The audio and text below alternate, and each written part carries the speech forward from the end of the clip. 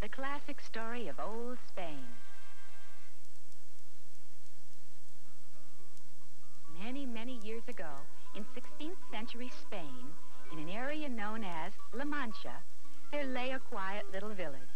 And in the village, there was a large estate that belonged to a middle-aged gentleman named Alonso Quijano. Instead of taking care of his estate like most other gentlemen of the time, Alonso Quijano preferred to read books about chivalry, about knights and shining armor. And the more he read, the more he envied the knights of old. They led such exciting lives. He imagined that he was a brave knight on a fast steed riding through the land, protecting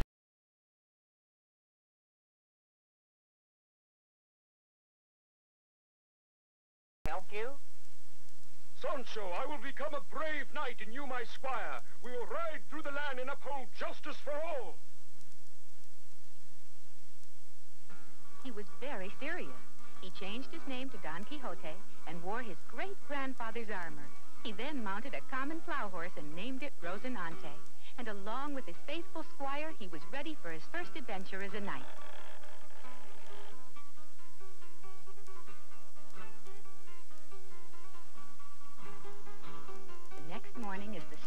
Shining brightly over the farmlands of the village, there suddenly appeared a knight in shining armor and his squire riding through the countryside. Everyone stopped their work to have a look at this strange sight. They just couldn't believe their eyes. Sancho, there is much to do. We must push on. The work of a brave knight is never done. Don Quixote and Sancho had reached the end of their first day without incident. But Don Quixote dreamed of the adventures to come as they rode into the night. The people of the village thought that Don Quixote's behavior was very peculiar. Don Quixote and Sancho continued their ride through the countryside when suddenly, Huh? Oh, what a lovely girl! Beautiful maiden, let me introduce myself. I am Don Quixote. Hello, I'm Aldonza. Why are you dressed so strangely? Strangely? Huh? Ah, ah, ah. Why, I am the brave knight of La Mancha. Oh, so you're the man I've been hearing about. Is there some kind of unrest in the land that has caused you to become a knight? Unrest? Why, there is much injustice. Yes, Aldonza gave him a rose. He realized that he was quite harmless. Our brave knight is a real gentleman. Oh. Oh.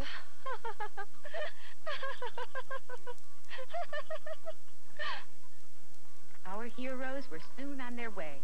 Don Quixote was overjoyed at finding a beautiful maiden to protect. As they said farewell, he decided to rename her Dulcinea. The next morning, Don Quixote and Sancho were sleeping soundly beneath a large tree when suddenly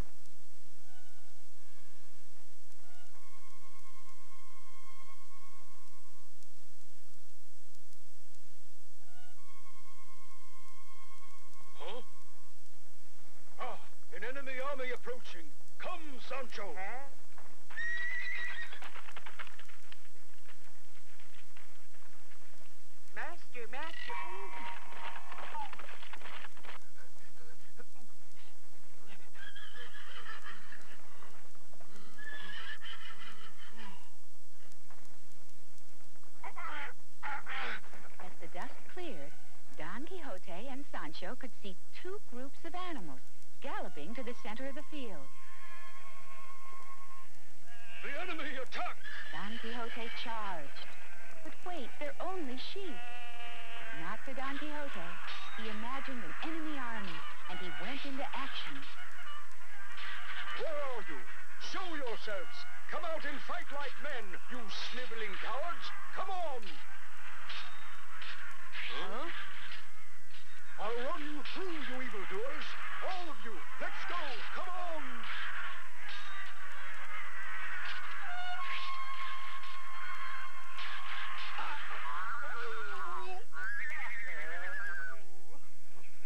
Quixote has fallen from his horse. Is he all right? Huh? Come on, keep coming. I'll take you all on, you scoundrels. Don't run. Aha! Take that. Let's go. I'll take you. Come on.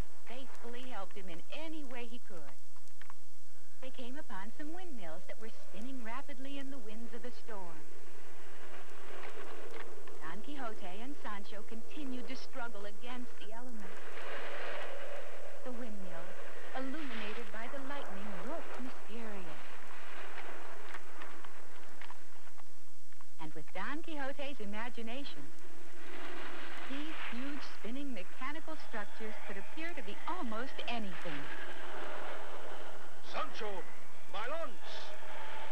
Sancho couldn't understand why Don Quixote wanted his lance, but being the faithful companion that he was, he brought his master the weapon. He looked at his master and then for the enemy. But he saw no one, just the windmill standing tall against the flashing lightning and crackling thunder. But the grimly determined Don Quixote, focusing on the pinwheel-like effect of the nearest windmill, used his great imagination to slowly turn it into a frightening vision. The vision grew and grew until it was clearly a giant monster standing directly in his path. Don Quixote studied the enemy. And as he looked closely at the monster, it raised its hand, and in it he saw... Dulcinea! Help! Help me! Help! I'll save you!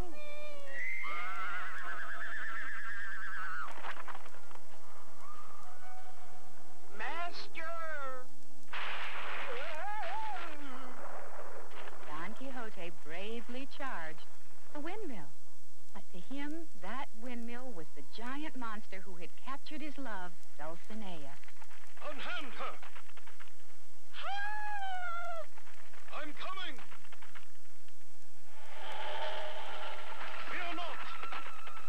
Oh, please! Evil creature, you shall feel my lance!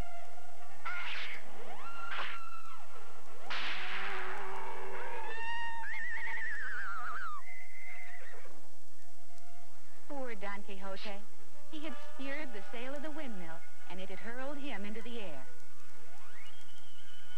so our brave knight had come to the end of another imaginary adventure. The next day, the sails of the windmills turned peacefully from a cool, steady breeze. The sky was clear, and the air was fresh and clean from the fallen rain. It was a fine day, but not for our friend. Our brave knight had suffered his first defeat, and loyal Sancho led his injured master home to nurse his wound. Don Quixote believed that some kind of evil magic had turned that giant into a windmill. Oh! Don Quixote was weary. What happened? Huh? Oh, my Dulcinea! I'm so glad you're safe. I would fight all the giants in the land for you. Oh, Don Quixote, you'll never see the world as others do. When the townspeople laughed, Don Quixote was unconcerned. He returned to his home with Sancho and with the lovely Dulcinea by his side. He enjoyed reading to her and the local children from his book of chivalry. But Hmm. what's this? And There's so something the wrong. knight... Don Quixote seems shocked at what he's reading. What could be upsetting him so? Sancho! Huh? Bring my armor and prepare my mount. There is too much injustice in the land for us to rest. Onward we'll march, fighting for justice Uh. forever. Ah. Oh, ah. And so, once again, our brave knight donned his armor and, along with his faithful squire, was ready for battle. They galloped away, determined to right the wrongs of the land. Don Quixote would not let anything stop him from fulfilling his dream of becoming a brave knight. The lesson to be learned from the unusual behavior of our brave knight is one of perseverance. And that simply means when you really want to do something very badly, never ever give up, no matter how difficult things may seem. Because if you truly believe in your dream, you can make it come true.